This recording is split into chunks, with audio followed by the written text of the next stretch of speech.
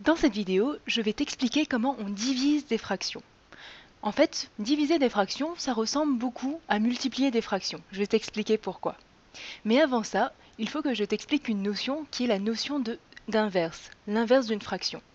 Par exemple, imaginons qu'on veuille avoir l'inverse de la fraction 2 tiers.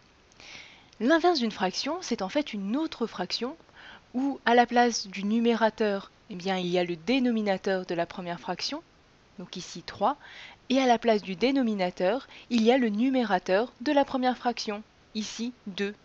3 demi, c'est en fait l'inverse de la fraction 2 tiers. 3 demi, c'est l'inverse de 2 tiers. On va voir un autre exemple. Imaginons maintenant qu'on cherche l'inverse de la fraction 4 cinquièmes. 4 cinquièmes. Alors, quel va être son inverse? Eh bien, ça va être une autre fraction avec 5 au numérateur et 4 au dénominateur. 5, 4, 5 quarts, c'est l'inverse de 4 cinquièmes. On va voir un autre exemple, un dernier. Imaginons qu'on cherche l'inverse de 5, par exemple. Eh bien 5, on sait qu'on peut l'écrire sous la forme d'une fraction. Ça serait 5 sur 1. Donc l'inverse de 5, ça va être 1 sur 5. Voilà. Alors maintenant, on va effacer tout ça et on va passer aux divisions de fractions. On va voir un exemple. Imaginons que je cherche à diviser 1 demi par 1 demi. Donc on cherche 1 demi divisé par 1 demi. Ce qu'il faut faire, c'est en fait prendre la première fraction et la multiplier par l'inverse de la deuxième fraction. Donc 1 demi divisé par 1 demi, c'est la même chose que 1 demi multiplié par l'inverse de 1 demi. Et l'inverse de 1 demi, c'est 2 sur 1. Maintenant qu'on a vu les vidéos sur les multiplications de fractions, tu dois savoir faire ça. Alors 1 fois 2, ça fait 2. Et 2 fois 1, ça fait 2. 2 sur 2, en fait, eh bien ça donne 1. Et ça, ça ne doit pas t'étonner parce que tu sais que n'importe quel nombre divisé par lui-même va donner 1. Par exemple, si je fais 2 divisé par 2, eh bien j'obtiens 1. Et ça, c'est la même chose que ce qu'on a écrit au-dessus. C'est la même chose que d'écrire 2 multiplié par 1 demi. Donc ça, ça fait 1. Je te propose de voir un autre exemple. On va par exemple diviser on va par exemple diviser 12 par 4. Alors ça, c'est une division toute simple, tu vas me dire. Eh bien oui, tu sais que le résultat, c'est 3. Mais on peut aussi l'écrire sous la forme d'une multiplication de fractions. Regarde, 12, c'est la même chose que 12 sur 1. Et si je veux diviser par 4, c'est la même chose que de multiplier par l'inverse de 4. L'inverse de 4, c'est quoi? C'est un quart. Donc en fait, 12 divisé par 4, c'est la même chose que 12 sur 1 multiplié par 1 quart. Alors 12 fois 1, ça fait 12. 1 fois 4, ça fait 4. 12 divisé par 4, ça fait 3. Voilà. On va effacer ça et on va voir d'autres exemples. On change de couleur. Alors, on va par exemple diviser 2 tiers par 5 sixièmes. Alors 2 tiers divisé par 5 sixièmes, c'est égal à 2 tiers multiplié par l'inverse de 5 sixièmes. 6 sur 5.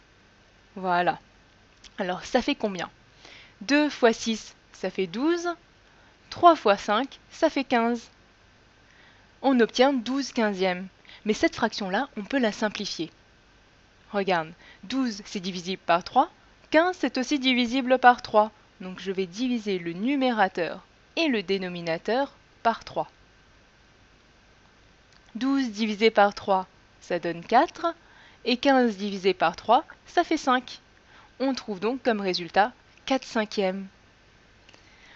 Allez, on continue dans les exemples. On va en faire un autre. 7 huitièmes divisé par 1 quart. Bien sûr, n'hésite pas à interrompre la vidéo et à faire les calculs plus doucement de ton côté. Tous ces exemples-là, c'est surtout pour t'entraîner en fait. Alors, 7 huitièmes divisé par 1 quart, c'est égal à 7 huitièmes multiplié par l'inverse d'un quart. 4 sur 1. Ça fait combien? 7 fois 4, ça fait 28. Et 8 fois 1, ça fait 8. Ça, c'est une fraction qu'on peut simplifier. Alors, qu'est-ce qu'on peut, par quoi on peut simplifier ça? Eh bien, 28, c'est divisible par 4. 28, c'est divisible par 4 et 8 aussi. Donc, on va tout diviser par 4, le numérateur et le dénominateur. 28 divisé par 4, ça fait 7. Et 8 divisé par 4, ça fait 2. Donc on trouve 7 demi comme résultat. Mais si tu te souviens, dans le module diviser, pardon, des fractions, on avait vu que la simplification, on pouvait la faire avant de faire le calcul. Donc ici, à ce niveau-là, avant de faire la multiplication, on peut voir si on peut simplifier déjà la fraction. Regarde, 8, c'est bien divisible par 4. Si je, divise, si je divise 8 par 4, je vais trouver 2. Et 4, c'est divisible par 4. Si je divise par 4, je trouve 1. Et donc on retrouve bien le même résultat. 7 fois 1 qui fait 7. Et 2 fois 1 qui fait 2. Voilà. Allez, on continue dans les exemples. On va, par exemple, diviser 2 tiers, pardon, moins 2 tiers, divisé par 5 demi. Alors, ça fait combien? Eh Bien, moins 2 tiers, on le laisse comme ça. Et on va multiplier moins 2 tiers par l'inverse de 5 demi. Donc 2 sur 5. Voilà. Moins 2 fois 2, ça fait moins 4. Et 3 fois 5, ça fait 15. On trouve comme résultat moins 4 sur 15 on continue. Mais d'abord, on va faire un petit peu de place. Donc j'efface tout ça. Voilà. Et on va continuer avec un autre exemple. Prenons 3 demi divisé par 1 sixième. 3 demi divisé par 1 sixième, c'est la même chose que 3 demi, pardon, 3 demi multiplié par l'inverse de 1 sixième, 6 sur 1. Alors, cette multiplication-là, avant de la faire, on peut peut-être simplifier certains éléments. Par exemple, 6 est divisible par 3. D'accord, mais ici il n'y a rien de divisible par 3.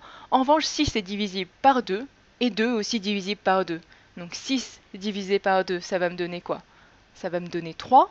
Et 2 divisé par 2, eh bien je vais trouver 1.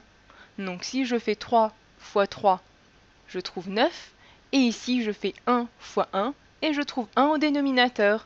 Donc le résultat de 3 demi divisé par 1 sixième, ça va être 9. On a trouvé notre résultat. Allez, on continue dans les exemples.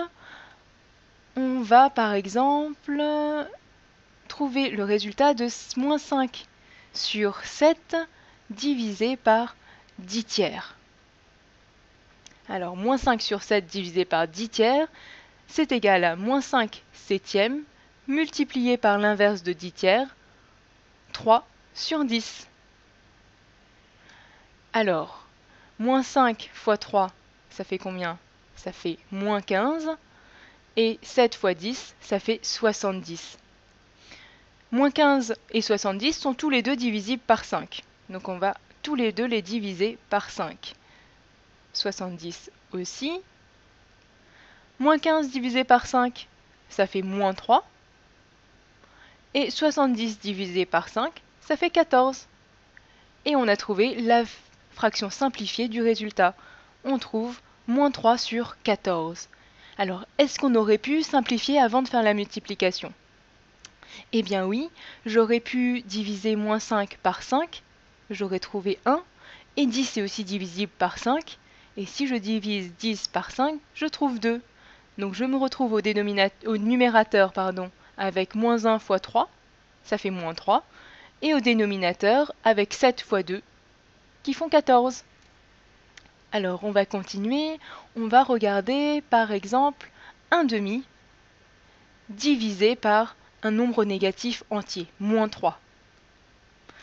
1 demi divisé par moins 3, c'est égal à 1 demi multiplié par l'inverse de moins 3. L'inverse de moins 3, c'est c'est quoi? Attends, on va... J'ai sauté une étape, on va d'abord voir... On va d'abord écrire moins 3 sous la forme d'une fraction. 1 demi divisé par moins 3, c'est la même chose que 1 demi divisé par moins 3 sur 1. Parce que moins 3, c'est la même chose que moins 3 sur 1. Une division de fraction, c'est en fait une multiplication de la première fraction par l'inverse de la deuxième. L'inverse de moins 3 sur 1, ça va être moins 1 sur 3. On trouve combien alors? Moins 1 pardon, fois moins 1, ça fait moins 1. Et 2 fois 3, ça fait 6. Je trouve moins 1 sixième comme résultat. Allez, on va effacer tout ça on va poursuivre.